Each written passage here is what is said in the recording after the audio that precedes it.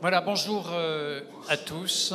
Brice Ceinturier, vous êtes euh, directeur général délégué d'Ipsos France depuis 2010. Euh, vous êtes diplômé de sciences politiques et vous êtes titulaire de deux DEA, un en études politiques et l'autre en philosophie. Vous êtes aussi enseignant à l'Institut d'études politiques de Paris. Vous êtes euh, un observateur reconnu des évolutions euh, de l'opinion et vous interviewez euh, régulièrement et vous intervenez régulièrement pardon, dans les médias audiovisuels, en particulier dans l'émission C'est dans l'air sur France 5, mais pas seulement dans l'émission politique où vous étiez hier soir.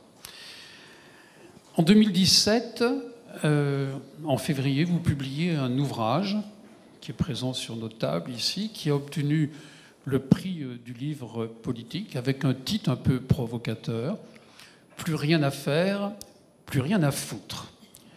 Mais le sous-titre, voilà. La vraie crise de la démocratie, nous en dit un peu plus sur ce que vous avez voulu nous dire dans ce livre. Et dans ce livre, en effet, vous analysez les raisons de la crise de confiance qui éloigne un grand nombre un nombre grandissant, dites-vous d'ailleurs, de Français de la politique. Vous décrivez ce que vous appelez la PRAF attitude, plus rien à faire, plus rien à foutre, qui s'exprime dans une version légère, plus rien à faire, et dans une version un peu plus radicale, plus rien à foutre.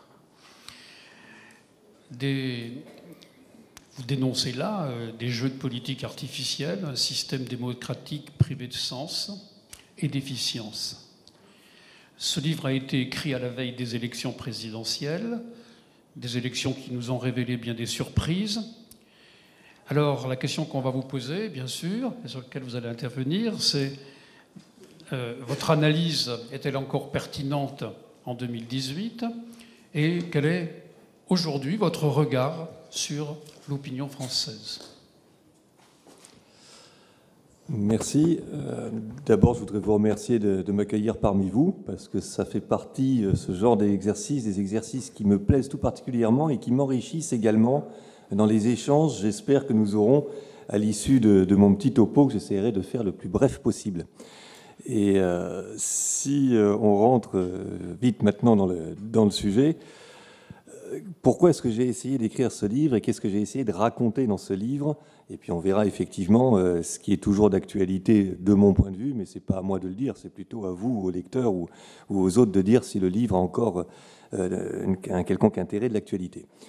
Mais en gros, moi, je voyais monter euh, dans la population française, à travers les enquêtes que je peux réaliser de là où je suis, hein, à Ipsos, mais également à travers les échanges que je pouvais avoir comme ça devant des Français en allant très souvent en province, je voyais monter une attitude dont on ne parlait pas ou dont on euh, faisait fi, à mon avis, euh, de manière tout à fait inconsidérée, qui était un désengagement de plus en plus profond d'une partie de plus en plus importante de la population vis-à-vis de la politique.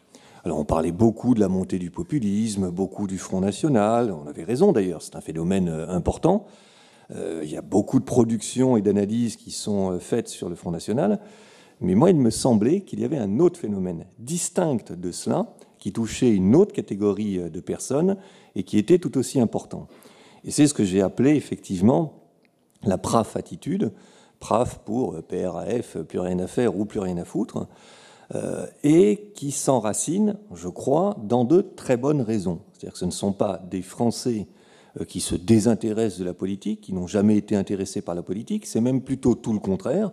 Ce sont des Français qui, très souvent, ont été très intéressés par la politique, qui l'ont suivie, et qui ont subi une sorte de processus qui va au-delà de la simple déception, euh, qui fait que véritablement ils s'éloignaient de euh, la politique.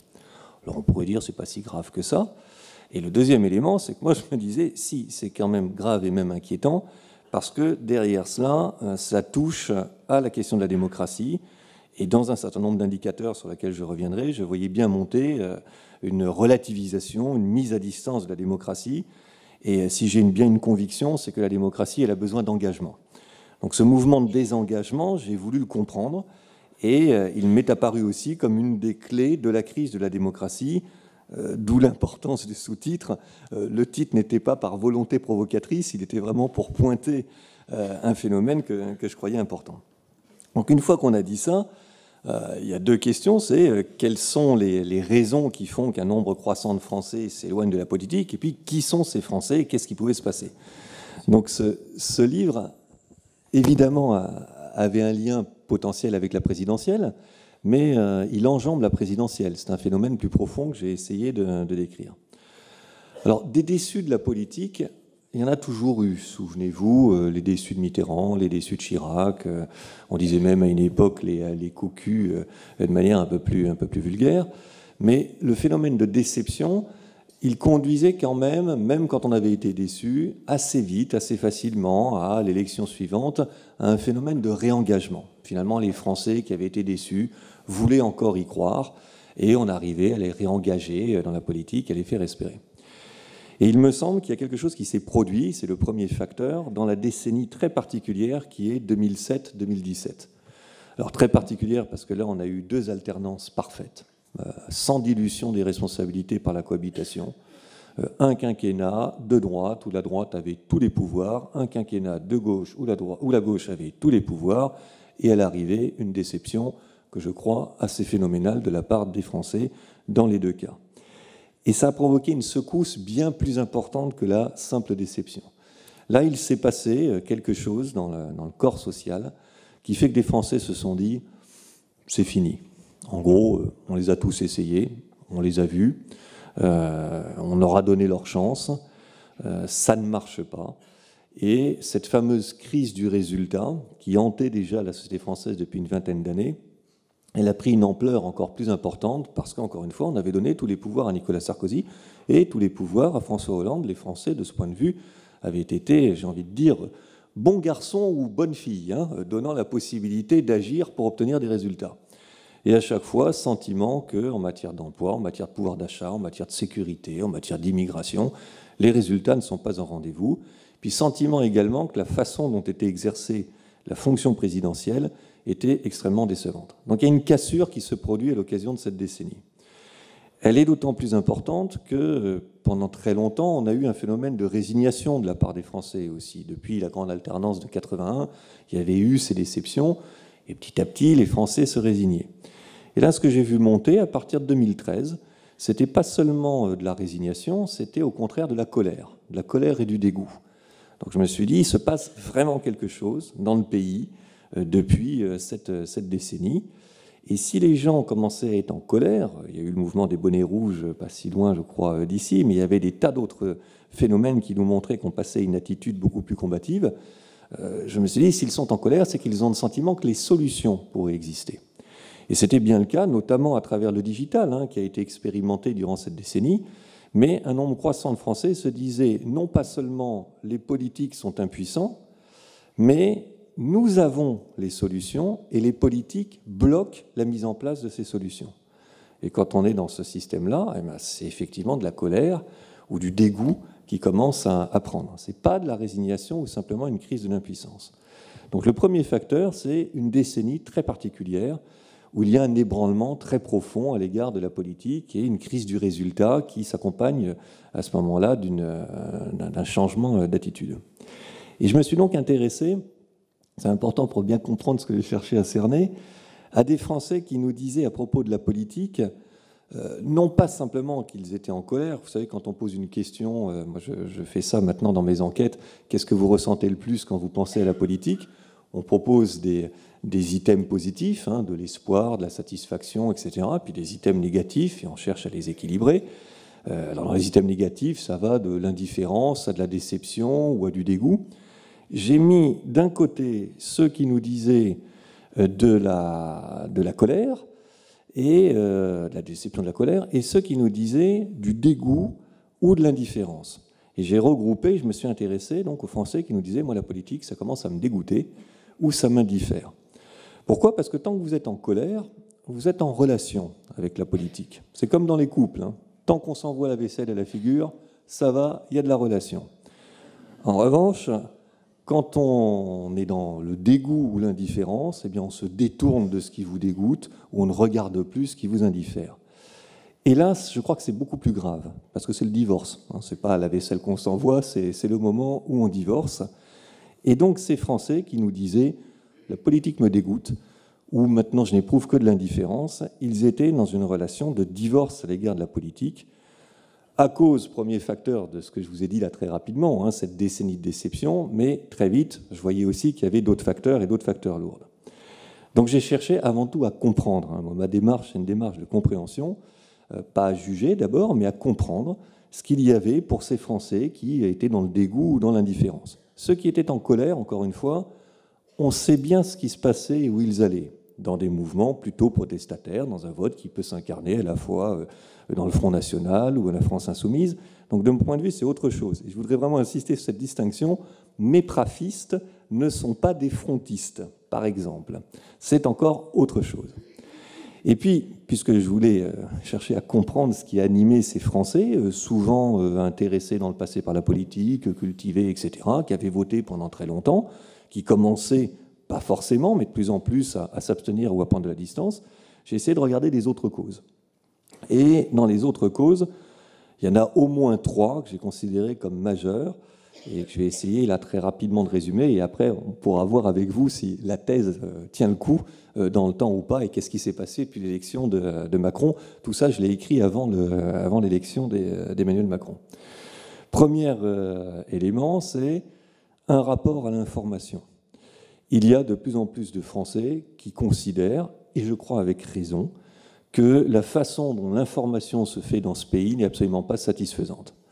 Alors j'ai analysé notamment trois choses, les réseaux sociaux, les JT d'information et les sondages. Parce que je me doute bien qu'il faut en parler, que vous m'attendez aussi un peu au tournant, donc je n'ai pas voulu esquiver les questions, y compris dans le livre, et je ne les esquiverai pas ici.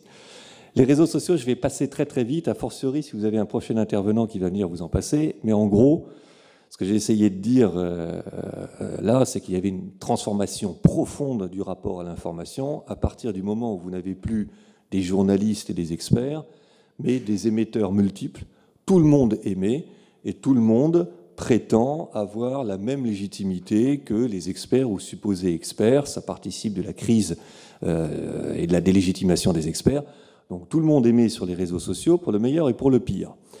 Et j'ai essayé de ne pas avoir une vision caricaturale. Il y a des choses extrêmement positives dans les réseaux sociaux, mais il y a aussi des éléments qui viennent nourrir le PRAF, c'est-à-dire qui contribuent, parce que les réseaux sociaux, c'est aussi euh, la violence, c'est aussi la caricature, c'est le crachat, c'est un certain nombre de, choses de cet ordre-là. Et donc, ce sont des éléments qui éloignent mes prafistes aussi de la vie euh, citoyenne au sens large, et donc de la démocratie, du rapport à la démocratie et tout. Donc les réseaux sociaux, voilà, je m'arrête juste là, il y, a, beaucoup de choses, mais c'est le premier point. Deuxième point, il me semble aussi, je continue à le penser de plus en plus, que euh, les JT d'information, ces grands moments qui avant réunissaient les Français, fabriquaient des référentiels communs, parce que les audiences étaient massives et parce que l'information avait un statut bien spécifique, eh bien non seulement ces journaux d'information euh, drainaient de moins en moins d'audience, donc potentiellement nous sommes de moins en moins nombreux à partager les mêmes choses, hein. Sans aller jusqu'aux journaux d'information. Il y a 15 ou 20 ans, le film de TF1 de dimanche soir, c'était des audiences massives, on en parlait le lendemain, et en tous les cas, ça créait des référentiels communs.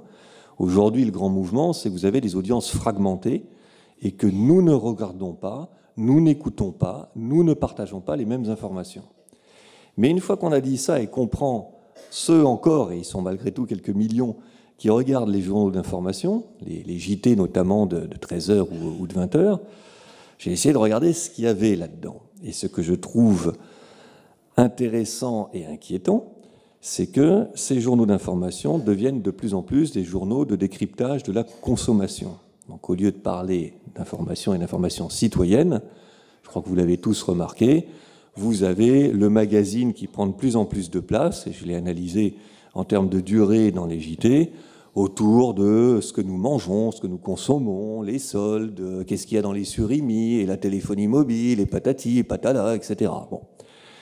Moi, il me semble que ça, ça crée un référentiel commun autour de la consommation, et donc autour de l'individualisme, et donc autour d'un certain nombre de valeurs marchandes ou une marchandisation de la société. Qu'en tous les cas, ce type d'information participe de la montée en puissance de l'individualisme autour d'une société dont une des finalités est exclusivement la consommation et que ça nous détourne quand même de valeurs plus collectives, plus engageantes, plus citoyennes, qui sont au cœur de la démocratie. La démocratie, ce n'est pas un régime qui est là uniquement pour favoriser l'hyperconsommation. Donc, premier problème, le référentiel des JT, il est de plus en plus orienté vers ça. Deuxième problème, quand vous développez l'hyperconsommation, eh bien, vous développez des individus vous leur dites au passage, c'est tous les slogans des grandes marques, parce que tu le vaux bien, euh, viens comme tu veux, euh, parce que vous, à ma guise, etc., etc. Donc vous flattez les individus. Hein, et puis ils finissent par croire ce qu'on leur dit comme ça. Donc ils finissent par croire que toute la valeur est de leur côté, ce qui finit par être un problème aussi. Mais une fois que vous avez fait ça d'un côté, vous n'avez plus de lien entre les individus. Et il faut bien en créer du lien, ne serait-ce que pour favoriser une consommation de masse. Et c'est là où il me semble que dans les journaux d'information, vous avez un autre référentiel qui est mis en avant, c'est la tradition, qu'on a vu beaucoup monter à travers toute une série d'émissions qui font l'éloge du patrimoine. Alors je précise tout de suite, je n'ai rien contre le patrimoine, je n'ai rien contre l'art culinaire français, surtout avec euh, la, la, mort d'un des grands chefs de la cuisine française euh, récemment. Je n'ai rien contre les beaux villages français, j'essaye juste d'analyser. Mais ce que je mesure, c'est que vous avez de plus en plus d'émissions qui cartonnent, que ce soit les top chefs, que ce soit les journées du patrimoine, que ce soit... Et je me suis dit, c'est un symptôme aussi. Et c'est un symptôme qui est une réaction, je crois, à l'individualisme contemporain, à l'hyperconsommation et aux angoisses aussi générées par euh, les changements permanents et accélérés qui fait qu'on a besoin de rituels et de se replonger dans des choses qui ne changent pas. La tradition, c'est ce qui ne change pas. Et sur la question de la valeur, puisqu'on disait que la valeur de plus en plus était du côté de l'individu, eh bien quand vous avez des rituels, ça vous donne une autre vision de la valeur. A de la valeur ce qui ne change pas dans le temps. Et donc on fait l'éloge. Euh, prenez l'émission de, de Stéphane Bern sur le plus beau village de France. Donc je reprécise que je n'ai rien contre les plus beaux villages de France. Mais ce qui m'intéressait, c'était la mécanique sociologique qu'il y avait dans ces reportages. Où je crois que vous avez tous vu ça, je, pense. Bon, on présélectionne des villages, les Français les présélectionnent, puis il y a des petits reportages et puis on vote. Mais c'est une vision de la France où on ne vous parle pas de la crise économique, euh, où vous avez une France très peu colorée. C'est une France en général de blancs, de gens plus ou moins aisés, une France où le temps coule lentement, où on fait l'éloge de la tradition, et bien souvent donc de la bonne bouffe euh, euh, et, de pas mal d'autres choses comme ça. Alors c'est très bien, et ça existe, et c'est nécessaire, je ne porte pas de jugement de valeur là-dessus. Je me dis simplement, on a deux modèles référentiels, soit l'éloge de la tradition, soit l'éloge de l'hyperconsommation. C'est un peu problématique pour créer de l'engagement politique et de l'engagement en faveur de la démocratie. Donc vous avez des Français qui ne s'y retrouvent pas là-dedans. Ils ne se retrouvent pas dans les réseaux sociaux, ils ne se retrouvent pas dans cette forme d'information, ça ne leur suffit pas. Il y a des choses là-dedans qui les dérangent, il faudrait qu'on leur parle aussi euh, d'autres éléments qui, euh, qui sont peut-être plus importants que simplement ces, ces deux pôles-là. Et donc ça contribue, ces Français, à se détourner de la chose publique. Et puis, troisième élément dont il faut parler aussi, quand même, les, sondages d'opinion. Alors, j'ai essayé de faire l'inventaire critique des sondages que nous pouvons faire dans ma profession, parce que je cherche aussi à distinguer les bonnes et les mauvaises critiques, en tous les cas, ce qui me semble être les bonnes et les mauvaises critiques. Mais tout ça, pour, euh, pour faire court, pour dire que il y a bien évidemment euh, des, des sondages qui n'ont aucun sens. Je me suis amusé à faire un petit bréviaire des sondages les plus stupides euh, qu'on puisse faire, et il y en a, et il faut le reconnaître, et tous les instituts en font. Euh, donc, première critique qu'on peut avoir, oui, les sondages, il y en a qui sont assez euh, consternants. Il y a également des pratiques qui peuvent être extraordinairement dérangeantes et qui me dérangent tout particulièrement parce qu'elles jettent le discrédit sur notre profession, alors que je pense que nous avons un rôle utile, en tous les cas je l'espère, pour expliquer un certain nombre de comportements. Mais quand vous avez une question particulièrement mal faite, voire orientée, j'en ai pointé quelques-unes, qu'elle est reprise par les médias, qu'elle est martelée, etc., eh bien, je comprends qu'une part croissante de Français nous disent il y a de plus en plus de sondages et on en a marre et qu'il y a un sentiment un peu comme ça de, de bourrage de crâne. Donc, deuxième grande cause, un problème avec l'information. Un problème avec les politiques et leur capacité à fabriquer du résultat, mais aussi un problème avec euh, l'information, donc les réseaux sociaux, les JT euh, et les sondages. Troisième élément, je crois, très important, que j'ai toujours considéré comme étant très important en analysant ce que les Français nous disaient, une crise de la morale. Alors c'est peut-être un mot qui flirte euh, un peu vieux jeu, mais moi, je suis persuadé que les Français ont un sens aigu de l'exemplarité et de la morale, qu'ils la souhaitent, qu'elle leur apparaît comme nécessaire, et que quand les représentants au sens large, que ce soit des représentants économiques ou politiques, leur donnent le sentiment qu'il n'y a plus d'exemplarité et que dans la société, il n'y a plus de morale qui tienne les individus, eh bien c'est un problème fondamental et qui éloigne aussi, qui contribue à éloigner les Français de la chose publique, de la démocratie, etc. Et là, je vais faire court, mais entre les scandales politiques, entre les scandales aussi qui touchent les entreprises, entre les scandales qui touchent des, euh, sportifs, il y, a, quand même des histoires effarantes qui sont rapportées, qui sont euh, produites avec quelques grandes figures de grands sportifs. Vous avez une crise de l'exemplarité et une crise de la morale qui est massive et que de plus en plus de Français notent et déplorent. Et ça aussi, ça les éloigne. Et puis enfin, sur le politique proprement dit, là, la crise, elle est multidimensionnelle. Crise de la représentation. Les Français, depuis très longtemps, et ça continue, se sentent mal représentés, 70-75%. Hein, crise de leadership également. Le leadership de Nicolas Sarkozy n'a pas satisfait les Français ou une part importante de Français qui l'ont trouvé, pour faire court, comme trop vulgaire, trop impulsif, etc. Le leadership de François Hollande n'a pas satisfait non plus les Français, qui, pour faire court également, ont trouvé qu'il avait justement peu de leadership et qu'il n'incarnait pas suffisamment la fonction présidentielle. Or, il y a un besoin de, leadership et les Français, en tous les cas une partie des Français, euh, ne le voyaient pas. Donc crise d'exemplarité, crise de résultats, crise de la représentation, crise de leadership. Au bout d'un moment, vous vous dites pourquoi s'intéresser à la politique? Et un des éléments moi, qui m'avait paru extraordinairement éclairant, je ne sais pas si vous vous souvenez de ce moment, c'est quand France Télévisions avait euh, préparé une nouvelle émission euh, politique, justement, dont l'invité avait été le, président de la République, François Hollande. Et on avait bien fait les choses. Hein. On avait mis un petit panel avec des Français. Donc voilà, il y avait des Français qui avaient été très bien choisis euh, pour, j'avais envie de dire, attirer le chaland, mais dans le bon sens du terme. Euh, on avait euh, des nouveaux intervieweurs, animateurs, euh, Karim Rissouli, Lia Salamé, on avait toute une mise en scène et tout. Bide complet. En termes d'audience, une audience catastrophique. c'est là où je me suis dit, ouf, ils n'en ont plus rien à foutre. C'est un rejet terrible. Donc vis-à-vis du politique aussi, toute une série de facteurs qui éloignent de plus en plus les Français de la représentation. On pourrait dire encore une fois, après tout, c'est le symptôme d'une société mature, de gens très matures, etc. Moi, je pense que c'est dramatique. Et que si ces Français s'éloignent de la politique, pour ces raisons-là, ce sont de bonnes raisons. C'est-à-dire qu'ils n'ont pas complètement tort. Hein. En tous les cas, je considère que oui, ils auraient quelques raisons euh, d'être critiques euh, vis-à-vis de, de, tout ce que je vous ai dit, la vacuité du contenu, des postures, etc. Et il y avait une demande de renouvellement que je voyais monter aussi euh, plein pot. Simplement, face à cette demande de renouvellement, l'offre n'était quand même pas tout à fait euh, au rendez-vous. C'est tout ça qui a explosé au moment de la présidentielle. Et en ce sens, c'est très bien, parce que la présidentielle, ça a été une purge extraordinairement cathartique, très violente, mais euh, de tout ce qui montait depuis longtemps. Et je crois que c'est salutaire pour recomposer euh, notre vie politique et le système politique d'une manière un peu plus entraînante, engageante pour les Français. Et c'est important parce que je vais vous donner juste un chiffre sur la démocratie. Euh, c'est important parce que ce que j'ai vu monter aussi au cours des dernières années, c'est une relativisation de la démocratie. Alors, j'avais euh, posé à une époque une question qui est est-ce que vous considérez que la démocratie est le meilleur des régimes possibles ou qu'il y a d'autres systèmes qui pourraient être tout aussi bons? Question simple, hein, euh, qu'on entend souvent dans les familles.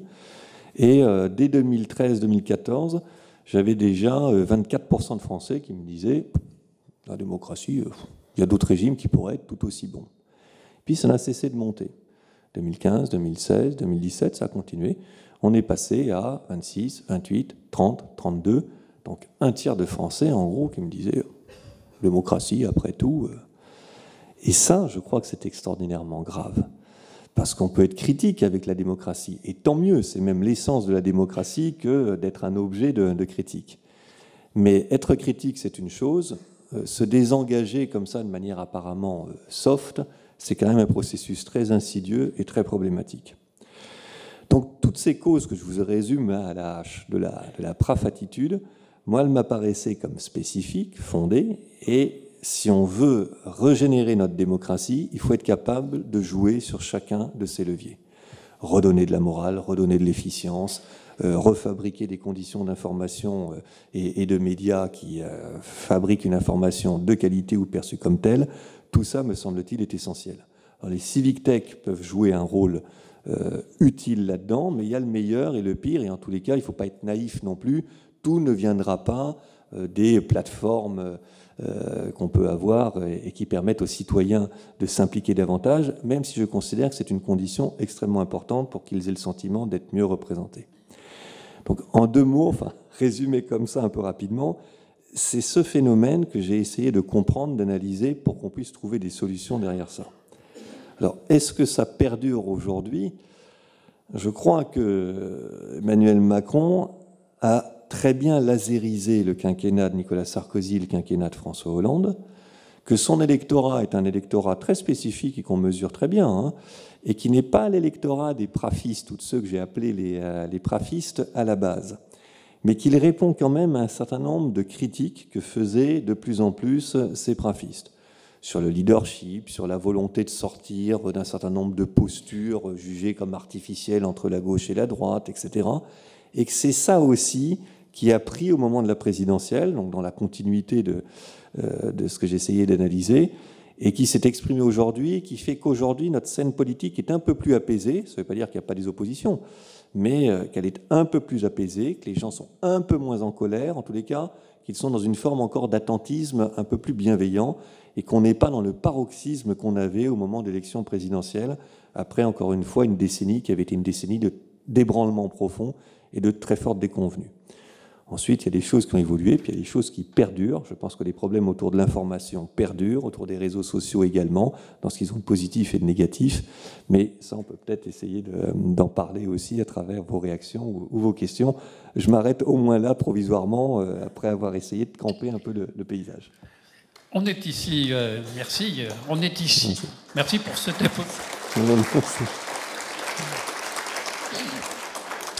On, va creuser un peu plus certaines questions que vous avez euh, abordées. On est ici euh, à l'Observatoire des médias, donc on s'intéresse aux médias et à l'information.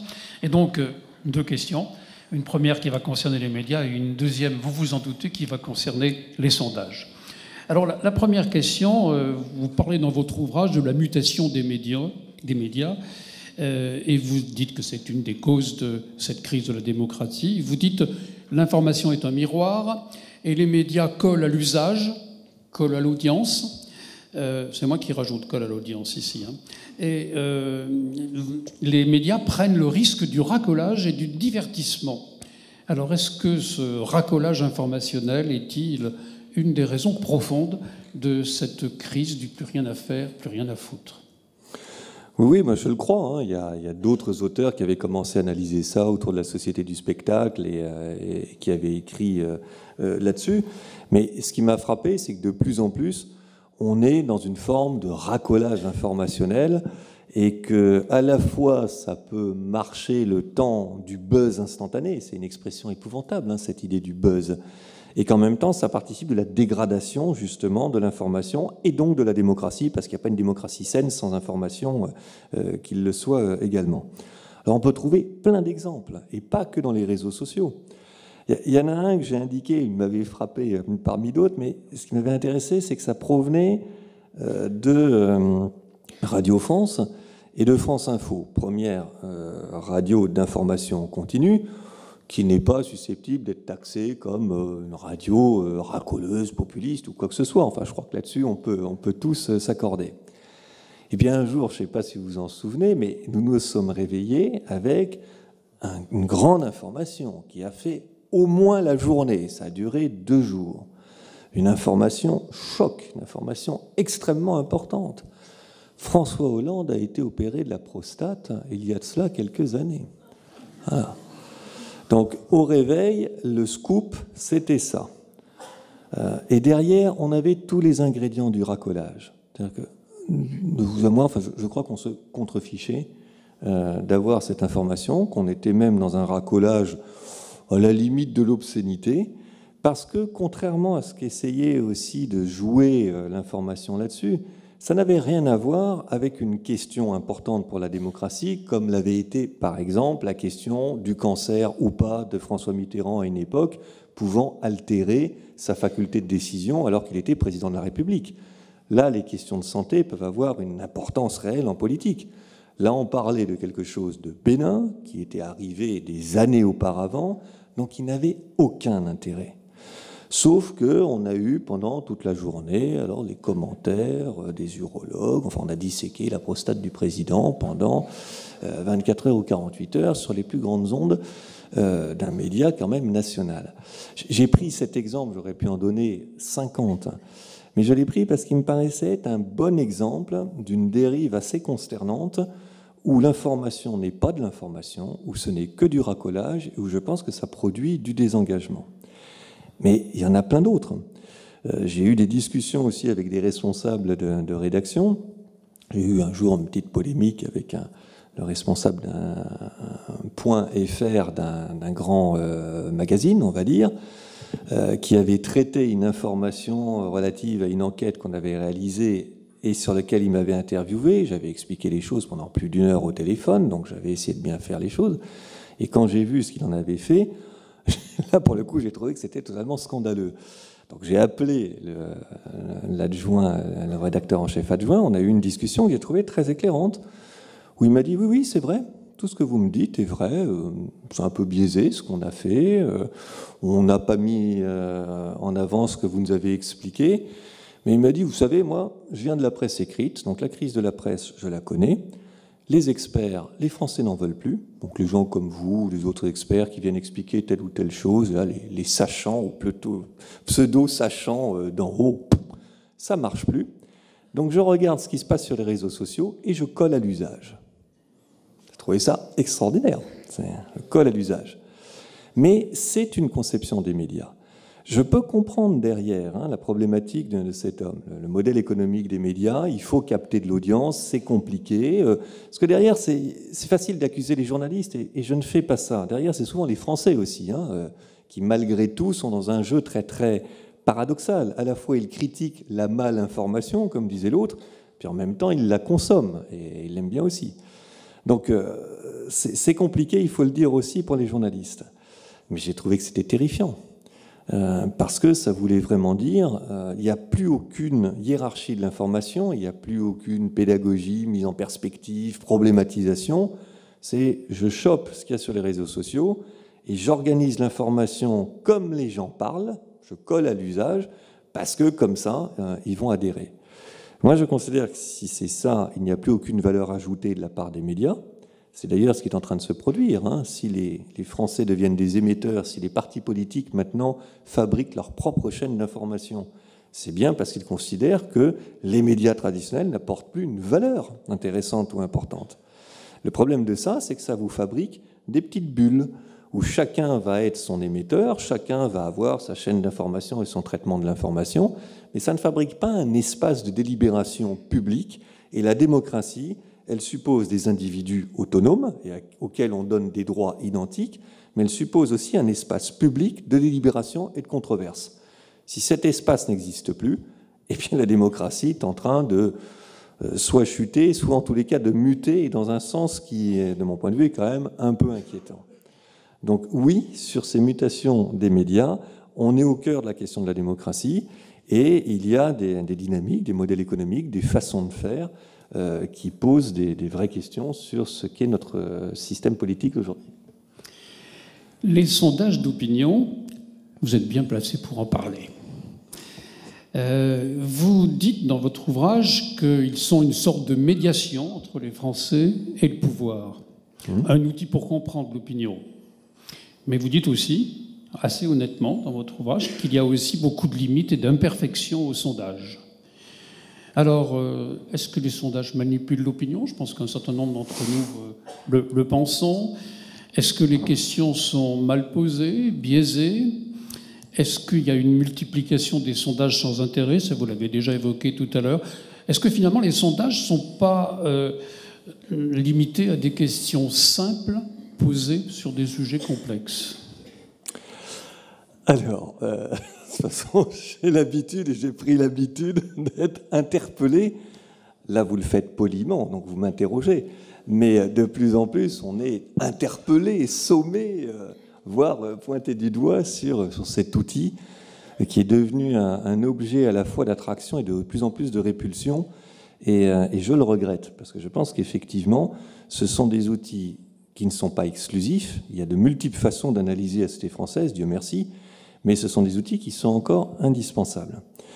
Donc il y a des, euh, éléments qui sont tout à fait critiquables euh, ou contestables. D'abord, il y a une question récurrente, c'est est-ce qu'il y a trop de sondages? Euh, Et on l'entend de plus en plus, hein, il, y a, trop de sondages. Alors dire qu'il y a beaucoup de sondages, ça c'est factuel et ça se mesure. Et effectivement, il y a beaucoup de sondages publiés et il y en a de plus en plus. Pourquoi? Très simple. Hein vous avez une fragmentation des médias, vous avez de plus en plus de médias qui se créent parce qu'il y a un abaissement des barrières à l'entrée et des changements de modèle économique, et vous avez de plus en plus d'instituts de sondage qui se créent. Là aussi, sans pour aller vite, mais parce que il est plus facile aujourd'hui de réaliser des enquêtes qu'il y a 15 ans ou 20 ans où elles passaient forcément par le téléphone ou par le face-à-face et donc par un réseau d'enquêteurs. Ce qui coûte cher, il faut les former, il faut les entretenir, c'est pas à la disposition de tout le monde. Quand vous pouvez faire des enquêtes en online, eh bien vous avez plein de nouveaux acteurs qui rentrent sur le marché. Ben, de plus en plus de médias et de plus en plus euh, d'instituts de sondage, ça fabrique mécaniquement de plus en plus de sondages publiés. Donc qu'il y ait beaucoup de sondages, c'est factuellement vrai et vérifiable.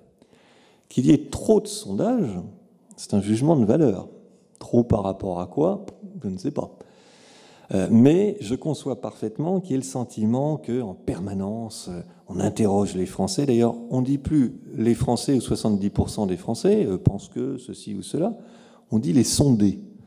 Ce pas les sondés. C'est le sondage, il a de la valeur uniquement parce que c'est une technique qui repose sur un échantillon représentatif et qui permet d'extrapoler ce qu'on a mesuré à l'ensemble de la population. Donc si c'est que les sondés qui pensent que, on s'en fout.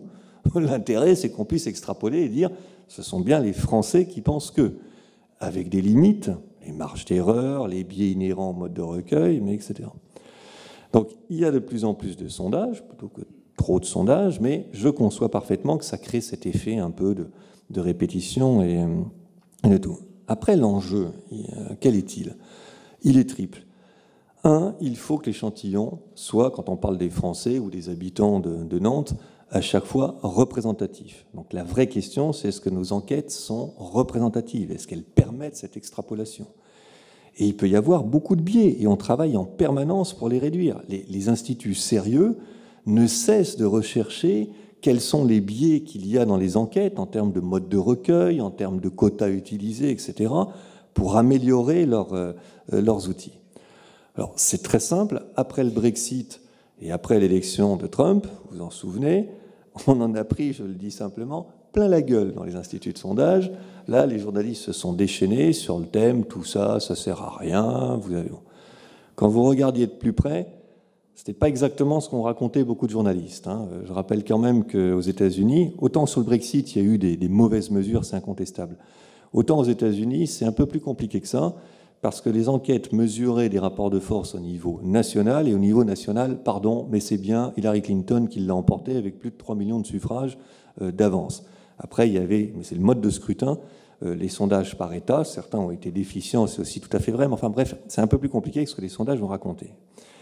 Mais en France, on a été soumis donc à cette critique pendant toute la campagne présidentielle, ce qui fait que j'ai fait aussi une campagne présidentielle où on en a entendu des vertes et des pas mûres sur le vote caché, euh, par exemple, de François Fillon, sur les réseaux sociaux, par exemple, Filteris, qui était beaucoup plus précis euh, que ce que nous faisions. Ben, l'arrivée, pardon, mais euh, les Filteris et autres ont raconté n'importe quoi.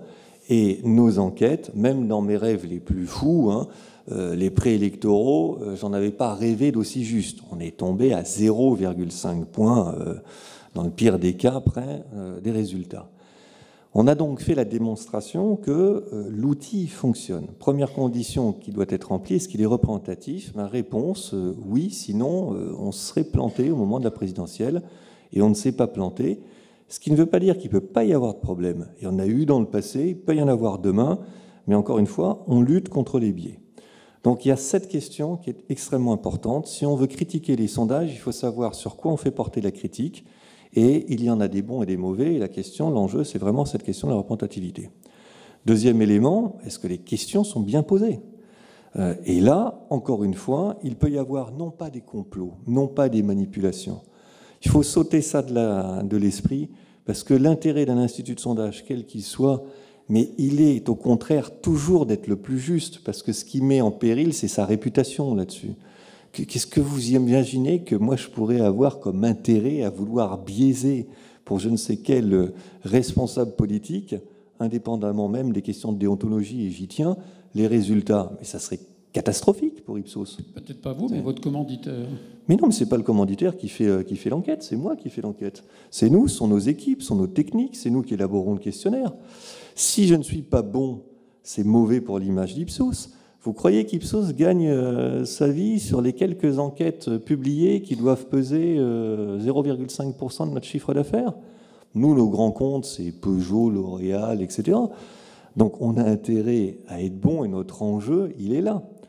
Donc, euh, même si vous voulez ne prendre qu'une grille de lecture très cynique, en disant qu'il y aurait des manipulateurs à l'institut de sondage, bah, à défaut de croire en leur honnêteté, mais moi je la revendique hein, quand même, croyez en leur intérêt. Et leur intérêt, il est inverse de la manipulation. Donc ça, c'est vraiment un fantasme. En revanche, il peut y avoir des mauvais, ça existe, hein. pas des manipulateurs, des mauvais, qui font des questions euh, déséquilibrées, qui travaillent trop vite, euh, etc.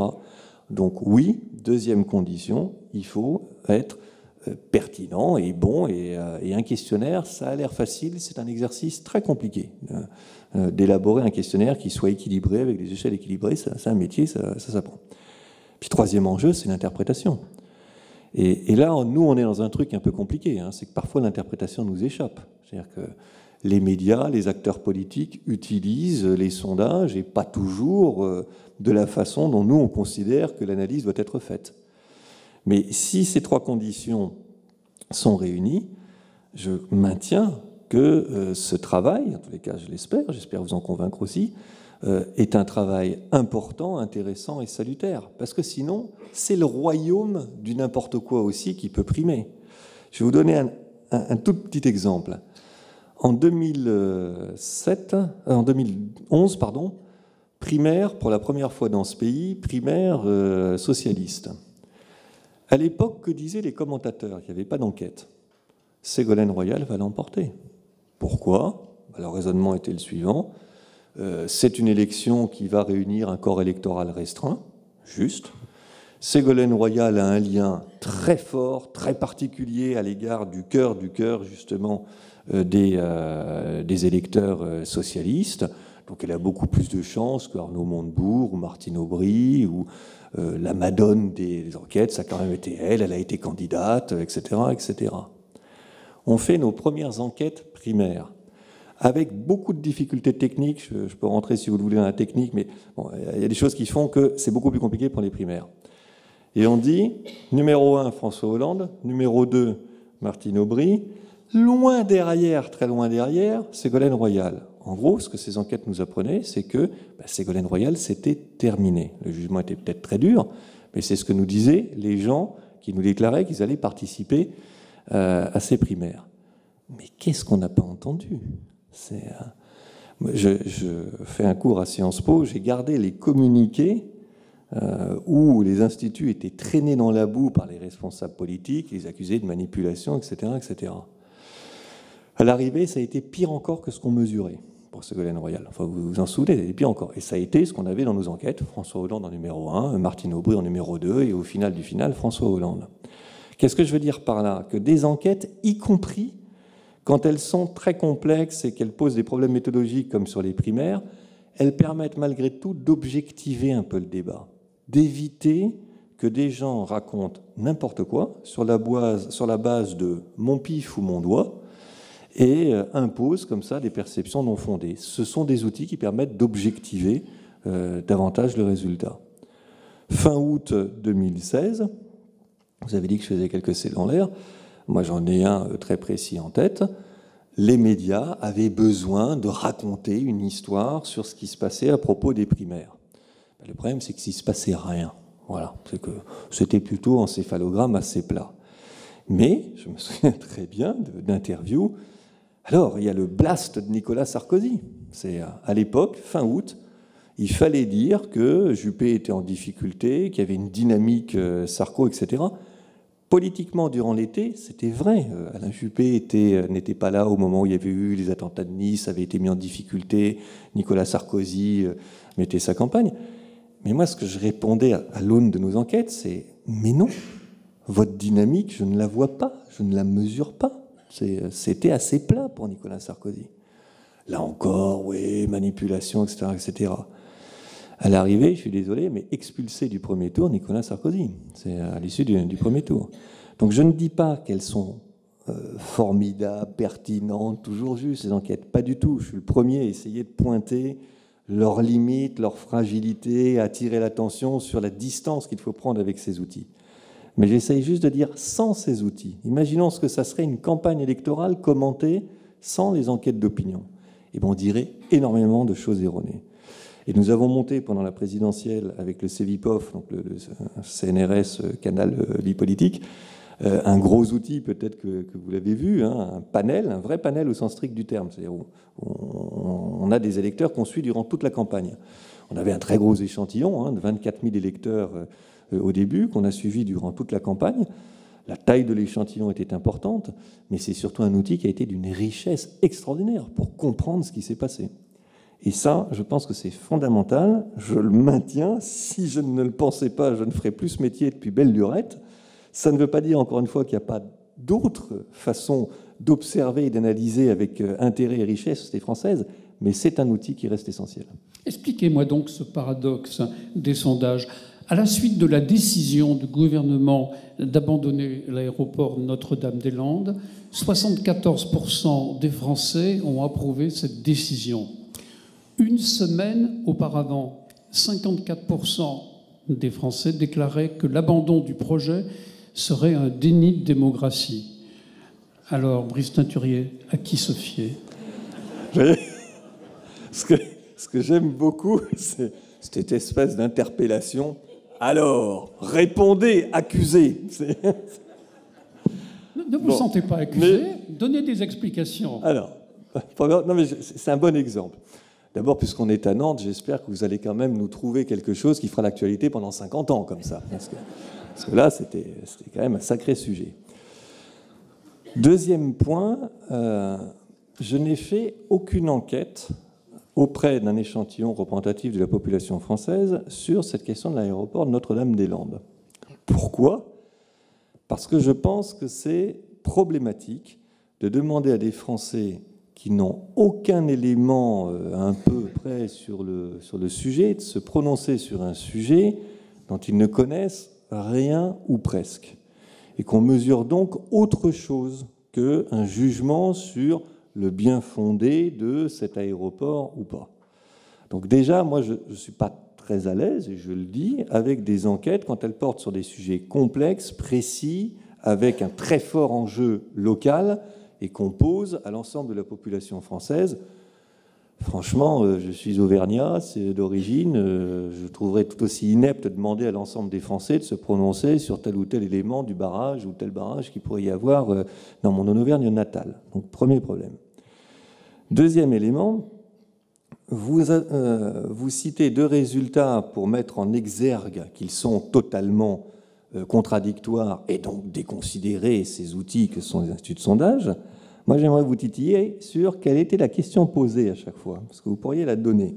Parce qu'il n'est pas, a priori, dans ce que je comprends, hein, je n'ai pas, vu là le, deuxième notamment, mais il n'est pas antinomique que vous puissiez être opposé à, ce, cet aéroport, mais dire que c'est un déni de démocratie que de le supprimer. Ce n'est pas du tout contradictoire. À partir du moment où vous avez eu, euh, et c'est pas vous que je vais l'apprendre, un référendum local, des décisions de justice, etc., je peux très bien considérer que oui, si on me pose la question, est-ce que c'est un déni de démocratie? Oui, c'est un déni de démocratie, mais je peux aussi très bien considérer pour d'autres raisons qu'il faut arrêter ce processus, qu'il faut dire non, etc. Donc c'est typique hein, d'un rapport à l'outil. Vous, allez coller comme ça deux résultats, vous dites c'est totalement euh, contradictoire, euh, ça prouve bien que tout ça, ça ne vaut rien. Ben non, je suis désolé, mais votre démonstration ne m'a pas convaincu et j'espère vous avoir convaincu que la démonstration n'était pas convaincante. Je, Merci de votre argumentation. Je n'ai pas voulu mettre en question les sondages, j'ai simplement voulu donner un éclairage par rapport à ces deux résultats qui apparaissent à première vue contradictoires. Mais effectivement, vous avez raison de dire il faudrait savoir quelle était la question qui a été posée et dans quel contexte aussi ce sondage a été fait. Mais, mais là où maintenant je vais, je vais être, euh, enfin de, de, votre côté, je ne suis pas d'un côté ou de l'autre, mais où vous soulevez, je trouve un vrai problème. C'est que si on ne dit pas, si on n'explique pas que ces deux sondages, et il me semble que c'est ça hein, sur les questions, ne mesurent pas la même chose, mais je comprends parfaitement que ça crée de la confusion alors que ces outils sont là pour éclairer et, expliquer. Euh, donc le, problème, il est aussi dans euh, l'usage qu'on peut en faire pardon, dans, dans, le débat public. Si à l'aune de ces deux enquêtes, on avait dit, ben voilà, il y a des Français, alors un, qui s'expriment sur un sujet qu'ils ne connaissent pas. Ça arrive souvent dans la vie, on parle souvent de sujets qu'on ne connaît pas. Moi, j'essaye de dire je ne sais pas quand je ne sais pas. Mais euh, reconnaissez qu'on fait tous quand même, qu'on tombe tous dans ce travers. Mais déjà, encore une fois, je pense que c'est pas très raisonnable, on va le dire comme ça, d'interroger les Français sur des sujets où ils n'ont en réalité qu'une très faible connaissance. C'est un vrai problème hein, que, je, que je soulève là, parce que c'est aussi la base de la démocratie. Euh, la démocratie, ça consiste à dire, eh bien, les Français, même quand ils ont des niveaux de connaissances, voire de compétences qui peuvent être très divers, ils ont tous le droit de s'exprimer et de choisir leurs représentants. L'enquête, c'est aussi un peu ça. Peut-être que euh, à Marseille, à Clermont-Ferrand, etc., on ne connaît pas grand-chose aux enjeux de l'aéroport de Nantes, mais euh, après tout, ils peuvent avoir une perception parce que c'est devenu un enjeu national. Une fois que j'ai dit ça, ma position première, c'est quand même qu'il ne faut pas faire des sondages sur des sujets comme ça aussi techniques en demandant l'avis des gens euh, qui ont un avis sur autre chose que ce qui constitue le cœur du, débat. Pour conclure, dites-moi, euh, Brice Teinturier, où trouver des raisons d'espérer pour un renouvellement de la démocratie? Dans votre ouvrage, vous abordez euh, ce qui concerne les civic tech, c'est-à-dire des initiatives et des applications numériques. Vous y croyez vraiment au Civic Tech? Alors, je, crois d'abord aux Français. Et, euh, et ce n'est pas euh, une posture un peu facile, voire un peu démago que je souligne euh, là. Les, outils, c'est une chose, mais la démocratie, ça dépend du, corps social et c'est d'abord l'affaire des, individus eux-mêmes. Moi, depuis 20 ans, j'ai essayé de lutter contre un stéréotype qui circule hein, chez nous, qui dit que les Français sont déprimés, sont dépressifs crois tout le contraire. Les Français ne sont pas dépressifs. Il y a au contraire énormément d'énergie, d'agilité, de capacité à créer dans ce pays. Ils sont, les Français, pessimistes, ce qui ne veut pas dire dépressif. Quand vous êtes dépressif, vous, n'arrivez même plus à vous lever le matin. C'est ça la dépression, c'est gravissime. Ce n'est pas l'état de ce pays. Et donc si je suis raisonnablement optimiste, c'est parce que je crois que justement, euh, cette société, ces Français, ont du ressort, ils en ont sous la pédale, hein, tout simplement, et qu'il y a des moments où ils l'expriment, et euh, je crois qu'on l'a vu aussi pendant ces campagnes présidentielles, ils sont capables de renverser la table, de dire ça, ça, ça suffit, euh, de vouloir essayer d'autres choses. Donc mon premier motif euh, d'espoir ou d'espérance, hein, c'est plutôt ce drôle de peuple hein, que j'essaye de comprendre depuis maintenant une trentaine d'années, et parfois on se fait vraiment avoir parce qu'ils sont surprenants, ces Français, mais il y a de l'énergie, une forme d'intelligence collective, et ça je le crois fondamentalement, euh, qui est à l'œuvre en France et d'une manière générale dans, toutes les, démocraties. Après, les outils. Donc, ce n'est pas les civic tech donc euh, les capacités à faire participer les Français à travers des outils numériques. Précisez-nous un petit peu ce que, c'est que ce que sont les civic tech. C'est beaucoup d'initiatives qui sont testées euh, en France, mais, mais, dans le monde, qui reposent sur cet outil qui est assez extraordinaire, hein, euh, de médiation maintenant très très rapide qui peut se faire entre une personne et, et le pouvoir, et qui prennent ensuite différentes formes.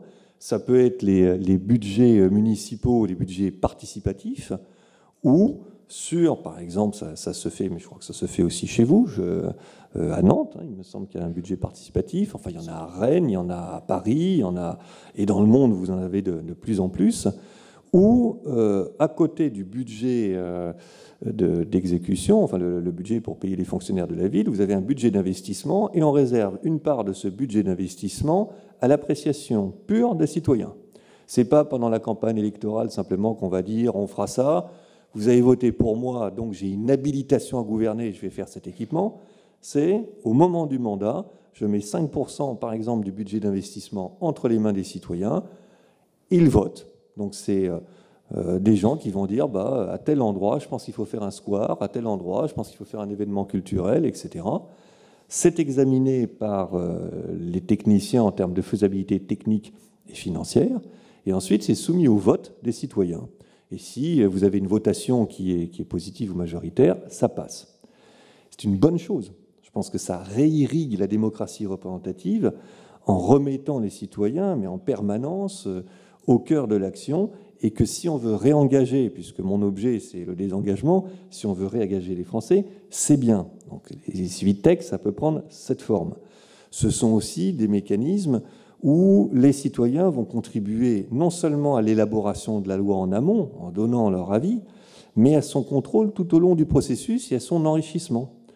Euh, et il faut arriver à faire vivre la démocratie, le processus de la loi, pas simplement une fois tous les cinq ans au moment du, vote, pas simplement au moment où la loi est examinée en chambre par des élus, puis votée, puis met deux ans à arriver sur le terrain, puis on l'expérimente, puis on va éventuellement la modifier il faut que les citoyens puissent réagir beaucoup plus vite.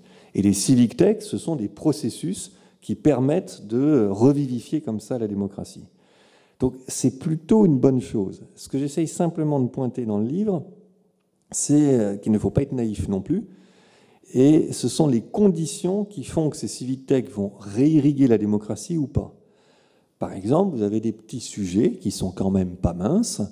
Euh, depuis la naissance de la démocratie, un des enjeux majeurs qui venait pourrir la démocratie, c'est la question de la corruption. On a mis des siècles pour assainir la vie démocratique des phénomènes de corruption, et pas dans tous les pays. Eh il ne faudrait pas qu'avec les civic tech, euh, on oublie ces questions-là. Ces civic tech, elles peuvent donner lieu aussi à des processus de détournement, à des pressions par des lobbies, euh, à des mécanismes où vous allez techniquement mobiliser des foules au service d'intérêts, euh, d'entreprises ou euh, que sais-je. Donc ne soyons pas naïfs non plus. Les civic tech, c'est pas euh, comme ça la solution.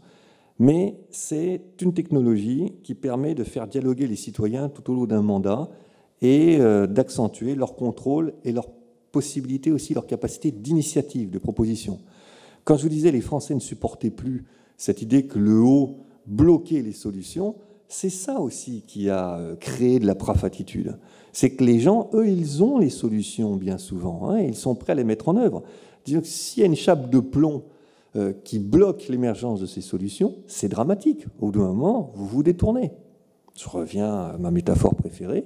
Si dans votre couple, il est impossible de se faire entendre, bah, au bout d'un moment, vous allez voir ailleurs. Merci euh, Brice Ceinturier. Donc c'est le moment des questions. J'imagine qu'il va y en avoir beaucoup dans la salle. Qui se lance pour la première question? J'en ai une. monsieur là-bas. Je peux. Allez-y. Donc ma question concerne un mot que vous avez mis en exergue dans votre livre sur plusieurs pages, c'est le pragmatisme. Alors, euh, si je lis ce que vous avez écrit en particulier, vous dites que le pragmatisme s'attaque à une démarche centrale dénonçant une approche idéologique. En réalité, il constitue lui-même une parfaite idéologie qui se, euh, dissimule pardon, en tant que telle. Alors, euh, ma question est simple, parce que je pense qu'elle a un lien avec le praphisme. C'est que, est-ce que le pragmatisme, c'est la négation de l'idée? Eh bien, d'une certaine façon, oui, c'est ce que j'essaye de dire à travers cette critique que je fais de l'éloge du pragmatisme. Euh, la, la, question sous-jacente, elle est très complexe, elle est très compliquée. C'est qu'est-ce que c'est que le réel? On parle beaucoup des fake news aujourd'hui. Donc qu'est-ce que c'est qu'une vérité? Qu'est-ce que c'est qu'un fait? Et qu'est-ce que c'est qu'une interprétation du réel, ou une construction du réel, ou une représentation du réel? Vous avez des gens qui nous font tous les matins, matin, midi et soir, il faut être pragmatique. Bon, dit comme ça, euh, oui, euh, il vaut mieux être pragmatique que fumeux, d'accord. C'est comme les gens qui vous disent, il faut être concret. Oui, mais évidemment, il vaut mieux être concret que vaseux. Une fois qu'on a dit ça, moi, je pense que c'est très largement une supercherie, cette idée du pragmatisme, parce que l'idée sous-jacente, ça serait que le réel se donne à voir de lui-même. Voilà, il n'y a pas à faire des idéologies, sous-entendu des systèmes épouvantables. Les idéologies, ça ne serait pas beau. Euh, il faut être pragmatique. Eh bien non, le réel, il ne se donne pas à, à voir de lui-même. Il n'a pas du sens de lui-même, il n'a pas un sens de lui-même. Il est construit dans un rapport entre les individus et ce qu'on pourrait appeler le réel. Il est construit à travers le langage, il est construit à travers des rapports de force, à travers une histoire, à travers des systèmes de valeurs, et il y a toujours un système de valeurs à l'œuvre dans une solution. Quand vous dites qu'il faut être pragmatique et pour l'entreprise, par exemple, euh, être plus efficace, plus rapide et supprimer des instances de représentation des salariés au nom du pragmatisme, c'est une idéologie qui se dissimule. Je ne dis pas qu'il ne faut pas le faire, je dis simplement qu'on fait arbitrer entre une rapidité de solution à mettre en œuvre et une représentation et une délibération, on accorde plus d'importance à la rapidité d'exécution. Peut-être que c'est bien, peut-être qu'il faut le faire, je n'en sais rien. Mais ne racontons pas que c'est le pragmatisme, c'est-à-dire la vérité. C'est un système de valeurs derrière. Donc j'essaye de restaurer la notion positive des idéologies, des idées, une idéologie, c'est une interprétation du monde, et il n'y a que des interprétations du monde. À part les mathématiques, euh, le vrai ne tombe pas comme ça. Donc il y a des interprétations du, monde qui sont le fruit de systèmes de valeurs, de rapports de force. Une idéologie, donc c'est ça. Ça a une deuxième fonction qui est, une fois qu'on ça aide à comprendre le monde, eh bien d'unifier les gens autour de cette interprétation du monde. Vous êtes de gauche, vous êtes de droite. Ce sont des idéologies, ce sont des interprétations du monde. Vous adhérez à ça, ça vous unit. Et euh, c'est enfin, troisièmement, un principe d'action. Et si vous adhérez à ces valeurs, à cette interprétation du monde, ça donne en général un principe d'action. Et c'est une, de mon point de vue, mystification que d'essayer de faire croire qu'il y aurait le pragmatisme d'un côté et les idéologies euh, de l'autre. Une question euh, d'Augustin Barbara. Tu es, tu es court, Augustin, hein, comme d'habitude. Hein.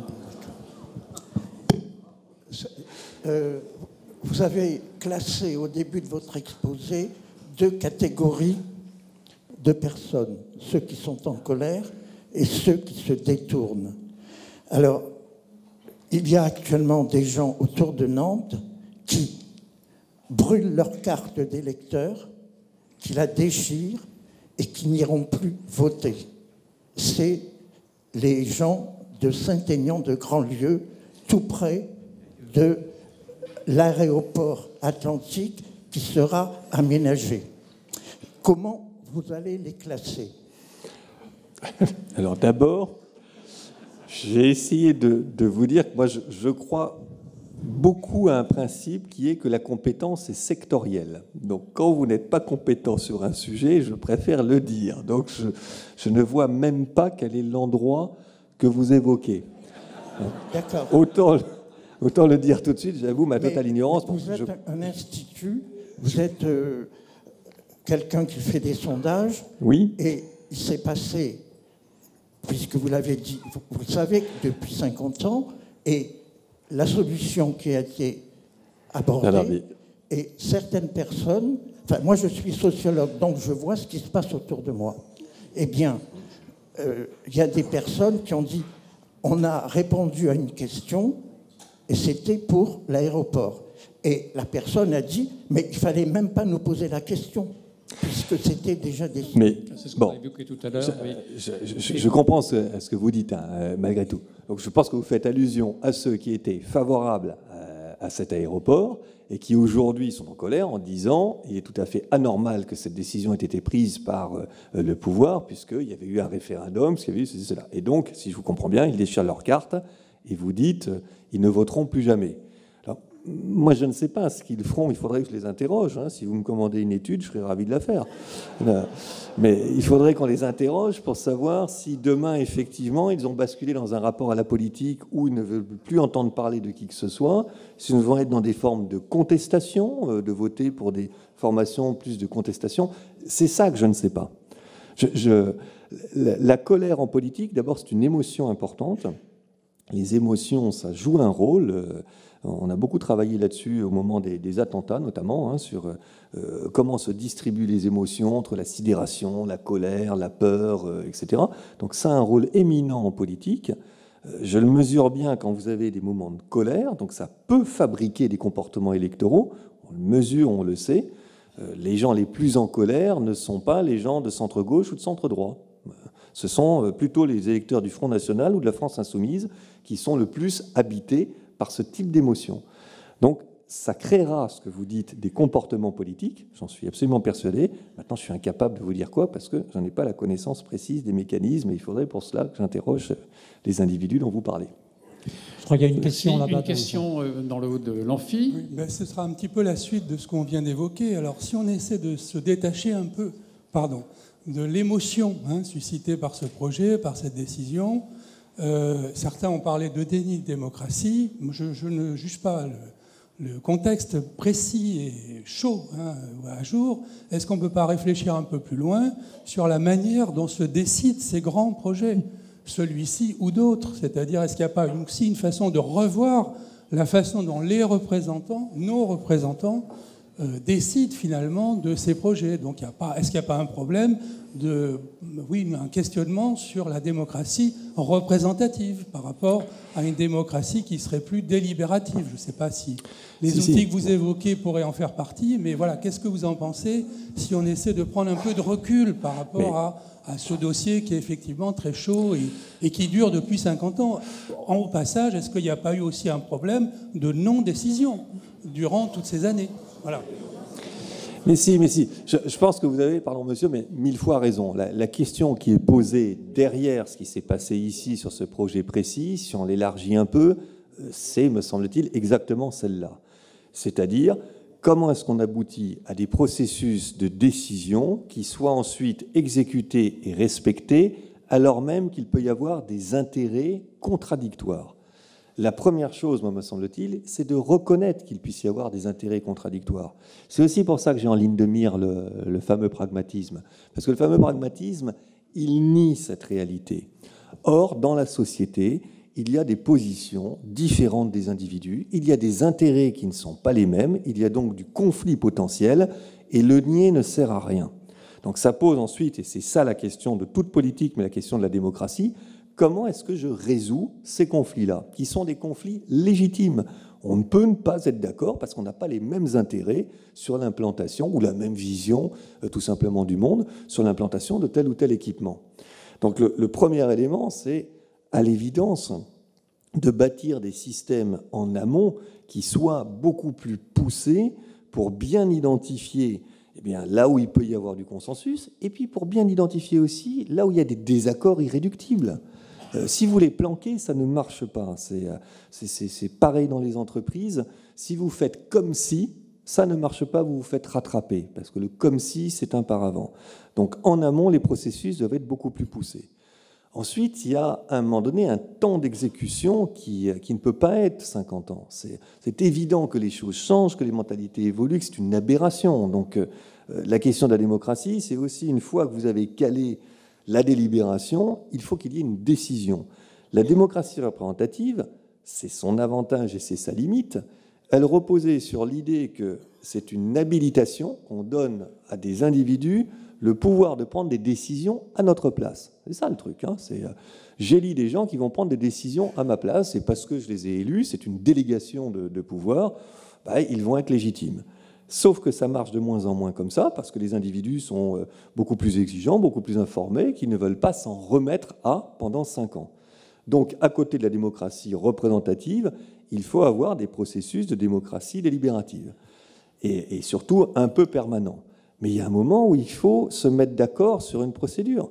Je peux être dans la minorité, ça c'est le principe démocratique, c'est-à-dire que, mes intérêts ben, soient minoritaires, et il va falloir malgré tout que j'accepte la solution qui aura été décidée. C'est ça qui est en jeu, c'est ça qui est très important.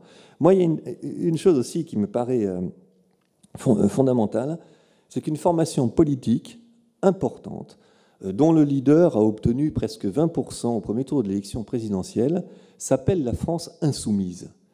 Eh bien, pardonnez-moi, mais je trouve ça extrêmement intéressant comme symptôme. La question de la démocratie, c'est la question aussi de l'obéissance à la loi. Pourquoi est-ce qu'on se soumet à la loi? Pourquoi est-ce qu'un individu accepte euh, de, se soumettre à quelque chose qu'il ne voudrait pas forcément ou qui peut aller à un moment donné à l'encontre de son intérêt particulier du moment? Euh, Vous avez deux réponses. Hein. Vous avez la, réponse de, Rousseau. Bah, on accepte quand on est soi-même à l'origine de la loi. D'où la question et l'importance de ce que vous pointez, les processus délibératifs. Euh, mais ça ne suffit pas. C'est-à-dire qu'à un moment donné, euh, vous pouvez vous soumettre à une loi, même quand vous la considérez comme injuste ou qu'elle ne correspond pas à votre souhait. Mais vous vous soumettez quand même. Quand vous, pour plein de raisons. Quand vous dites je refuse de me soumettre à ça, quand le consentement à l'impôt aussi, j'ai fait un chapitre sur l'impôt parce que c'est un bon révélateur, quand le consentement à l'impôt s'effrite, vous êtes dans des processus qui sont des révélateurs de dysfonctionnement démocratique. Donc au-delà de ce qui s'est passé, et dont je comprends que ça vous tienne à cœur euh, ici euh, et récemment, derrière, c'est ce que vous pointez. C'est vraiment comment on fait sur ces projets-là et sur bien d'autres questions pour refabriquer de la décision qui soit perçue comme légitime et réguler les conflits qui sont aussi légitimes. Ces, conflits, encore une fois, ils sont au cœur de la démocratie. Il y a une question en haut de la salle. Oui, je, reviens au sondage. Euh, pour les grandes décisions ou les votes très importants, je pense que les sondages faits, réalisés au bon moment, peuvent avoir un effet trompeur sur les résultats parce qu'ils peuvent, les résultats peuvent influencer de façon non négligeable une part de gens indécis qui, euh, au fond, se laissent porter par le résultat du sondage réalisé avant. Qu'est-ce que vous en pensez? Alors, d'abord, c'est une critique aussi récurrente. Hein, et là encore, vous la formulez, et je vous en remercie euh, de manière totalement non agressive. Euh, il m'est arrivé euh, d'avoir à essuyer le même contenu de la critique de, de manière moins, moins polie. En gros, c'est vos sondages influencent au sens négatif du terme des individus qui ne sont pas forcément suffisamment informés, etc., et peuvent constituer une perversion de la démocratie. C'est une très vieille critique. Maurice Druon avait écrit un papier il y a 50 ans maintenant qui était Les sondages sur la pollution de la démocratie. Et il y a un petit peu ça hein, derrière, euh, si je comprends bien ce, ce, que vous pointez là. Alors, comment vous dire? Je m'inscris en faux totalement par rapport à ce reproche, que je prends au sérieux, mais dont je pense qu'il est erroné.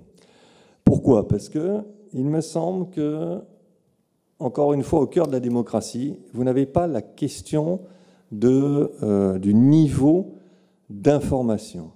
Et que si des individus qui hésitent veulent prendre en compte dans leur processus de décision cette information que leur donne un sondage d'opinion, à savoir que la majorité pense que ceci ou cela, je ne vois pas en quoi cela pervertirait le processus démocratique. Ça, peut aboutir à des choses qui vous déplaisent ou qui nous déplaisent, mais en soi, qu'un individu se dise ou pas, il est libre de l'utiliser, cette information.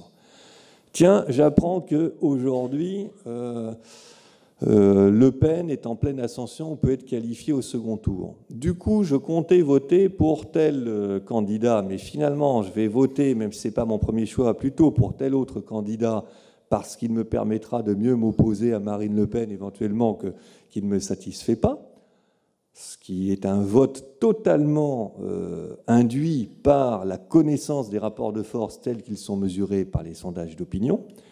eh bien, je considère que ce n'est pas une forme dégradée de la démocratie, de la prise de décision. Je considère qu'on a là un électeur qui, au contraire, raffine énormément son vote.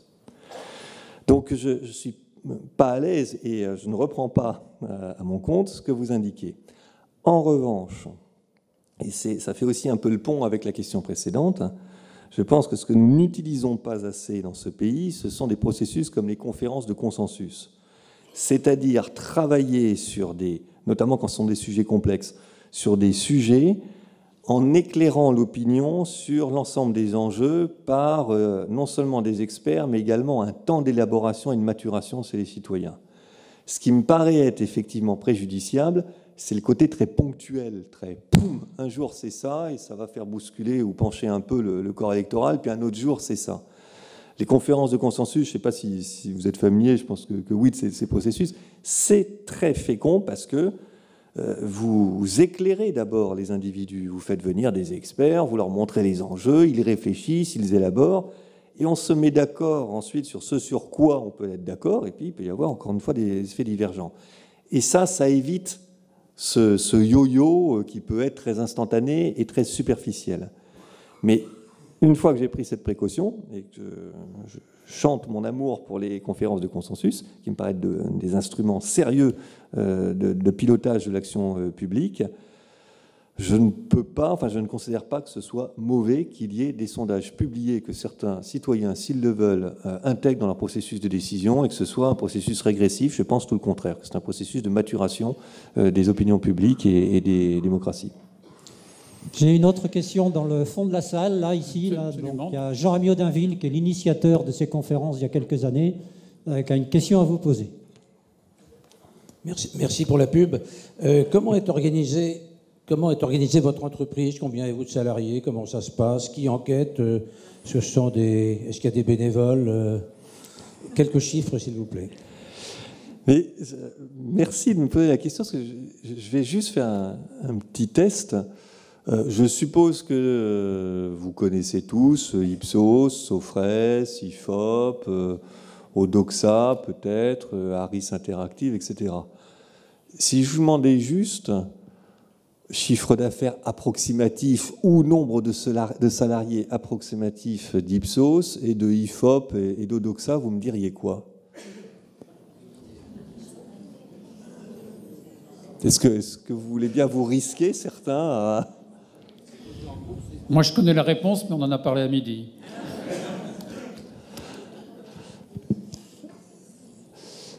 Odoxa, six personnes. Oui, bien. Quelqu'un a déjà googlisé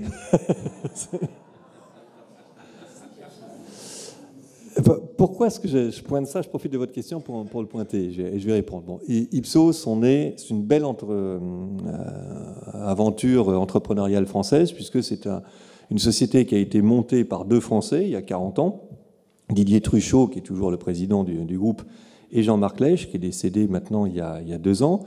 Donc ils ont monté ça il y a une quarantaine d'années, euh, à 6 ou 7. Aujourd'hui, c'est le troisième groupe mondial euh, d'études. C'est un groupe français, donc toujours dirigé par un Français, dont le, le, centre est, en France, mais présent dans 87 pays, avec 16 000 salariés, 600 en gros euh, en France, et un chiffre d'affaires d'un milliard 7. IFOP, alors je vais peut-être dire des bêtises que j'ai plus tout en tête, mais c'est pour vous donner les ordres d'idées, et je ne me trompe pas sur les ordres d'idées. C'est une maison française euh, qui a une filiale, je crois, à Shanghai, qui en a une à une époque euh, au Canada, mais qui fait dans les 40 millions de chiffre d'affaires. 1,7 milliard, 40 millions. Odoxa, c'est une entité qui s'est créée il y a 3-4 euh, ans maintenant, et oui, ils sont moins de 10. Donc vous voyez bien, Odoxa, Ipsos, en réalité, ce pas du tout les mêmes maisons c'est pas les mêmes modèles économiques, euh, enfin c'est très différent. Mais il se trouve que ces trois boîtes-là font des sondages politiques publiés. Ça donne une notoriété donc à ces maisons-là, identiques, alors que derrière vous avez des réalités complètement différentes. Et c'est un problème. Je ne vous dis pas les grands groupes c'est formidable, les petites boîtes c'est affreux. D'abord j'ai tout fait. Hein. Je dis simplement à ce stade, ce n'est pas la même chose. Ce n'est pas les mêmes enjeux. Euh, ce n'est pas non plus les mêmes capacités de recherche et de développement, de, de terrain, d'autonomie, de voilà, ça n'a rien à voir. Alors, j'ai répondu en même temps à votre question. en France, on est 600, on est leader. Vous avez des équipes études et puis ensuite des équipes, ce qu'on appelle terrain, donc les enquêteurs. Quand je dis 600, c'est hors équipe terrain. Et notre activité, elle est euh, centrée sur quatre grands domaines d'expertise. Le marketing, donc ça, vous n'en entendez jamais parler. C'est pour des clients euh, privés et ça pèse 40 euh, ou 45% de l'activité. Des études de satisfaction, de satisfaction des clients, des consommateurs, etc. et ça pèse aussi beaucoup hein, dans, notre chiffre d'affaires. Deuxième domaine d'activité des études autour de la marque, autour de l'évaluation de la publicité de la marque, etc. C'est le troisième grand domaine d'intervention. Et puis le quatrième, qui est ce qu'on appelle chez nous les publics affaires, euh, ce dont je m'occupe plus particulièrement, qui se subdivise elle-même en études politiques qui sont marginales, études pour les entreprises sur euh, leur image, leur réputation, etc., et études sur euh, les tendances, ce qui est en train d'émerger dans la société. Les publics affaires, c'est 15% en France, euh, c'est même un peu moins, du chiffre d'affaires d'Ipsos France. Donc c'est tout petit. Et à l'intérieur d'Ipsos Public Affaires, ce qui est publié, ce qui est politique et politique électorale, c'est ridicule. Donc c'est un chiffre ridicule de 15%. Donc la réalité de notre marché, en tous les cas dans des boîtes comme Sofres ou Ipsos, qui sont des grands groupes mondiaux, c'est que l'activité politique très faible. C'est moins le cas pour des plus petites structures qui peuvent se constituer beaucoup plus autour des médias pour avoir de la visibilité et de problématiques d'opinion. Odoxa, c'est un ancien de BVA qui a monté ça. Il venait du département opinion. Bon, son domaine d'action, c'est l'opinion. Il ne fait pas, il fait pas du, euh, du marketing. Mais c'est important, effectivement, de l'avoir en tête. Parce que derrière, vous avez tout simplement des, questions euh, d'autonomie et de capacité aussi à dire non à des clients. C'est-à-dire que euh, moi, je préfère être dans, des, dans un grand groupe aussi pour ça, parce que je ne suis dépendant de personne. il y a tellement de clients et la boîte est tellement importante que faire pression sur nous, je pense que c'est plus difficile, voire impossible, indépendamment des questions d'éthique et j'y tiens, je le ressouligne, que si vous êtes très dépendant, une toute petite structure, euh, d'un grand client. Voilà. Il y a encore une question là, dans le, ici, là, dans, la, dans le fond de la salle. Voilà, on vous écoute, oui. Bonjour. Bonjour. Euh, ne pensez-vous pas qu'un des facteurs de l'affaiblissement du politique et de la démocratie, et donc de l'augmentation du nombre de prafistes, n'est pas dû au pouvoir exorbitant du fric et des lobbies euh, Je vais le reformuler à ma manière. Je, vous, ai dit à un moment donné qu'effectivement, dans euh, les, logiques de détachement, je pense qu'il y a des Français, de plus en plus, qui se disent que la consommation et donc aussi les questions euh, de profit ne peuvent pas être l'alpha et l'oméga d'une société et que ça se met à un moment donné, ça peut se mettre en tension avec un idéal démocratique. Donc euh, oui, et on sent bien une société qui, qui est trop dans euh, l'hyperconsommation et qui hypervalorise en termes de réussite ces dimensions-là, d'argent, de réussite matérielle, de consommation, etc., etc., de signes de richesse, euh, à un moment donné, d'abord, je pense qu'elle se fait rattraper parce qu'il y a d'autres besoins qui émergent et que les individus disent une existence, c'est ce qu'on mesure de plus en plus, hein, ça ne se résume pas à ça, et qu'il y a un besoin de sens, et qu'il y a un besoin de cohérence, de valeur, etc et que le malaise démocratique, il provient, oui, c'est ce que je développe aussi, euh, donc euh, de ce que vous pointez. Si la société est trop obnubilée par ses seuls enjeux matériels de marché, de consommation, de réussite, etc., ça finit par dysfonctionner. Et donc il faut regarder ensuite euh, quelle est la réaction. Il y a des réactions qui sont positives, il y a des réactions qui sont inquiétantes. Il y a madame, madame au fond de la salle là, qui a une, une autre question. Et puis il y aura une question devant ensuite. Euh, l'opinion des Français se fait aussi, semble-t-il, euh, par la presse, par l'audition de, de, radio, de radio multiples.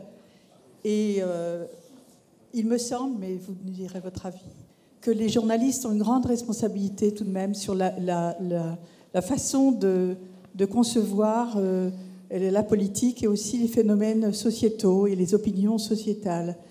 Et il me semble qu'il y a des phénomènes de répétition. Il y a un, air ambiant qui fait qu'il est très difficile de voir s'exprimer des opinions différentes sur le plan sociétal, par exemple. Et bon, il se trouve que j'ai participé samedi dernier matin au comité d'éthique. C'était très intéressant au CHU. Mais on a parlé on a parlé de la fusion des cellules de 0 jour à 6 jours euh, pour ce qui concerne le fœtus. Et euh, la, difficulté, moi, que je vois dans toutes ces informations est participative, mais souvent c'est un petit peu illusoire. Euh, c'est que, oh, j'ai du mal à m'exprimer, c'est qu'en fait, c'est qu'en fait, on saucissonne les sujets ou au contraire on les mélange, mais on n'a pas une vraie écoute des gens et les gens ne se sentent pas toujours libres d'exprimer euh, quelque chose qui ne soit pas dans l'axe de, de la doxa journalistique de l'époque. Quel est votre avis là-dessus? bah, D'abord, c'est une question importante hein, que vous soulevez. Euh, d'abord, je, pense qu'au niveau des médias, il faut effectivement être nuancé parce que euh, ce ne sont pas les médias qui fabriquent l'opinion. Ça, c'est pas vrai. Pas plus qu'il y a des gouvernements au sondage, hein, d'ailleurs. Mais les Français sont soumis à beaucoup de ressorts à partir desquels ils se forgent une opinion. Il y a les médias, mais il y a beaucoup d'autres choses. Il y a leur expérience personnelle, il y a le, tissu relationnel, amical, familial, enfin bref. Donc les médias ne créent pas mécaniquement comme ça euh, l'opinion des Français. En revanche, vous avez raison et vous avez prononcé le, terme, il peut y avoir une petite musique euh, qu'ils imposent, qui se répand, qui est répétée, qui influence quand même, qui donne un cadre. Moi, je suis très attentif à quelle est la petite musique dominante. Et il est parfois extrêmement difficile d'aller contre la petite musique euh, dominante. Maintenant, la bonne nouvelle, c'est, y compris l'expérience que vous, que vous évoquez, c'est que face à cette petite musique dominante, qu'est-ce qu'on voit? On voit une explosion des initiatives individuelles ou collectives, une explosion des communautés. Moi, ça me fait doucement rire quand on dénonce les communautés ou le risque des communautés nous vivons à, l'heure de l'explosion des communautés. Ça va de la communauté des euh, acheteurs de Thermomix euh, qui vont vous expliquer, se regrouper en communauté, les bienfaits de cet appareil, etc., à des communautés sur des enjeux beaucoup plus importants. Mais on voit bien qu'il y a une vivacité, une capacité d'organisation des Français et d'émission aussi d'informations et de réflexion et d'élaboration qui se fait de manière indépendante des médias. C'est le problème des médias d'ailleurs, c'est qu'ils n'ont plus le monopole de l'information et qu'elle est partout. Et puis la difficulté que vous pointez, c'est qu'une fois qu'on a dit qu'il y a, et donc ça c'est positif, euh, euh, ces, possibilités pour les Français, ben, c'est comment on sort de l'anecdote, comment on sort du micro-local, comment euh, on sort de choses qui sont certes intéressantes, mais qui ne suffisent pas par elles-mêmes à avoir une valeur euh, plus universalisante, plus, euh, plus généralisable. Et il ne faut pas non plus être dans le micro particulier, parce que si c'est ça, on est dans de l'addition de micro particuliers. Et c'est pas simple. Donc ça reboucle avec les autres questions, mais je crois avec ce qui unit vos centres d'intérêt hein, autour des médias. Les médias, c'est une médiation. C'est comment est-ce qu'on passe de petites monades individuelles avec des intérêts éventuellement différents à du collectif et qu'on articule tout ça pour que ça fabrique une société. On prend une dernière question devant et puis Jean-Claude va terminer. Deux, petites questions. La première euh, sur les outils de travail. Oui, sur les outils de travail. Euh, la constitution des panels de, de, prospects euh, est faite comment? Moi, j'ai 45 ans de vie citoyenne. J'ai jamais été. J'étais interrogé. voilà. Et deuxième question. Il faut vous inscrire deuxième question. Euh, est-ce que vous ne pensez pas qu'on se rapproche d'une démocratie à l'américaine avec les tweets du président euh, journalier, les fake news également? Euh, très, très, rapidement sur la première question, à une époque, j'avais demandé à, quelqu'un chez nous, comme cette question revenait souvent, moi j'ai jamais été interrogé, de mettre sur notre site, elle y est peut-être toujours d'ailleurs, une petite fiche expliquant la probabilité que vous avez d'être interrogé et qui est quand même très faible. Compte tenu du nombre de Français, des tirages aléatoires, de la taille des échantillons, il n'est pas surprenant que vous ne soyez pas tous interrogés régulièrement par les instituts de sondage. Et je vais vous dire, je pense que c'est heureux, que c'est quand même une très bonne chose. Mais, donc il y, a, ça aussi qui joue tout simplement en termes de, de. Euh, après, il faut distinguer entre les enquêtes par téléphone, les enquêtes par, euh, en face à face, et puis ce qui se fait maintenant en online, où là, on a ce que nous, on appelle des access panels, c'est-à-dire que si vous avez envie de répondre aux enquêtes d'Ipsos, vous vous mettez en relation avec nous, vous rentrez, on en a, je crois, plus de 200 000 en France, hein, vous, rentrez dans nos access panels en nous donnant un certain nombre d'informations et tout. Et quand on a besoin de réaliser une enquête auprès d'un échantillon représentatif de la population, on va chercher à l'intérieur de ce gros access panel euh, les 1000 personnes avec des quotas pour qu'elles constituent un échantillon représentatif. Il y a en réalité, ça a l'air simple comme ça, mais énormément de règles et des niveaux de technicité qui sont très, euh, très élaborés pour assurer la qualité de ça, pour faire en sorte que les gens qui rentrent dans ces access panels ne soient pas euh, trop biaisés ou typés, qu'ils ne soient pas différents du reste de la population. Ça peut être une source de biais. il ne faut pas non plus les sursolliciter. Euh, sinon, ils s'habituent euh, aux enquêtes d'opinion et ils ne raisonnent plus comme les Français, bon, etc., etc. Je ne rentre pas dans le, dans le détail. Après, je vais euh, sur votre autre question. Bien évidemment, là, ça va être beaucoup plus court. Oui, il y a une américanisation de la, de la vie politique française, mais dans toutes les démocraties européennes, on n'en est pas à ce qui se passe aux États-Unis, mais on voit bien que ça arrive 10 ou 15 ans après, un peu sur les mêmes modes avec les mêmes enjeux, les mêmes questions, euh, les bulles qui se construisent euh, d'entre-soi, euh, a fortiori avec les algorithmes et, le fait d'être exposé à des informations qui vous ressemblent, etc., etc. La montée de ce qu'on appelle les populismes, le thème est connoté négativement, mais bon, je ne le prends pas de manière forcément négative. Mais ces phénomènes-là ne sont pas spécifiques ni aux États-Unis ni à la France. Donc bien sûr, euh, le rôle des médias, le rôle de l'individu, le marketing, tout ça, euh, j'allais dire hélas, mais non, mais je vais le dire, oui, euh, hélas, tire vers une démocratie de plus en plus, je crois, l'américaine, je le crains. Jean-Claude? Merci. Nous allons nous en tenir là. Il est 16 heures passées. Voilà, merci à tous d'être venus et surtout, grand merci à Brice Teinturier. Merci à vous.